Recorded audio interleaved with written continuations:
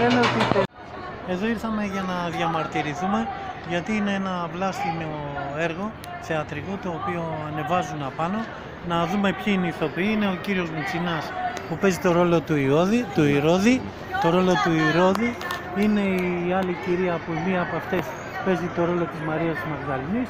Ο Μεσαίος κάνει τον Ιησού Χριστό ο Βλάστημος και ο άλλος παίζει το ρόλο του Ιούδα.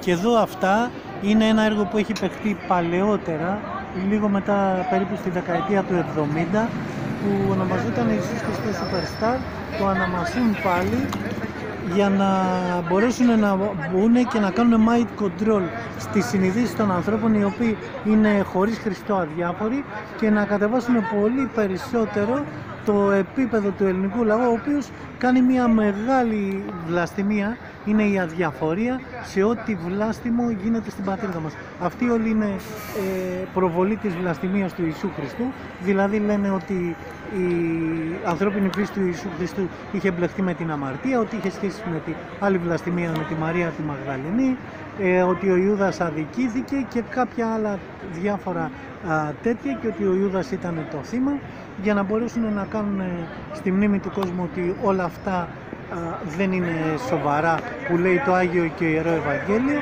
και ότι μετά που θα έρθει ο Αντίχριστος να βγάλουν ένα μοντέλο ανθρώπων, Ελλήνων βασικά και γενικά ανθρώπων γιατί αυτό παίζεται και παγκοσμίως περνάει αυτό το πνεύμα για να μπορέσουν να υποδεχτούν τον ψευδομεσία που θέλουν οι Εβραίοι στρώνουν αυτοί τώρα το χαλί. Τώρα ποιος ξέρει, μπορεί και πολλοί από αυτούς να είναι και εβραϊκής καταγωγής. Σίγουρα τα έχουν πάρει από κάποια εβραϊκά λόμπι του Ρότσιλ, ας πούμε, και εδώ βλαστημεί το Χριστός, αλλά αν τολμάνε οι κύριοι ας βάλουν το Μωάμεθ ή ας βάλουν ένα ραβίνο ε, γυμνό παραδείγματος χάρη με ένα καθήκη στο κεφάλι.